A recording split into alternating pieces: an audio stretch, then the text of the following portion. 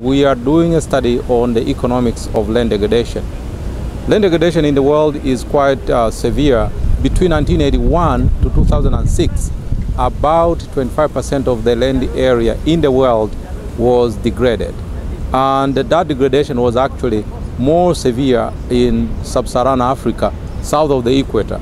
And we found in that area, 13% of the area degraded worldwide was located in uh, sub-Saharan Africa, south of the equator. This study wants to put a price tag to the biophysical uh, metrics that have been used to describe land degradation so that we can tell the world, if you take action against land degradation, these are the benefits in terms of uh, dollars and other benefits that the policymakers understand.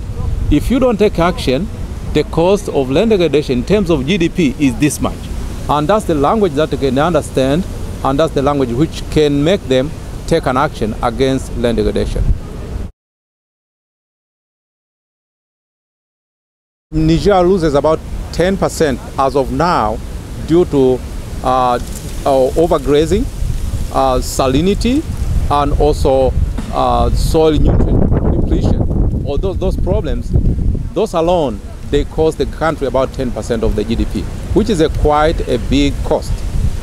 Before 1980s, uh, there was a law which was cut, uh, called the law of the axe. If you don't cut the forest for more than 10 years, the government will own that area.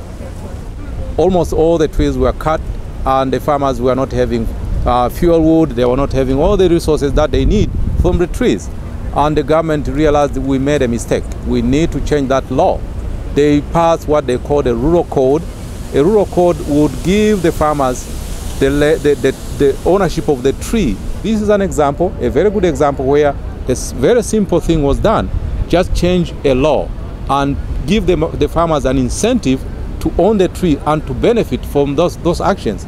Now, that's a, the government did not put any money into it, it just changed the law, and the farmers did what they are supposed to be doing.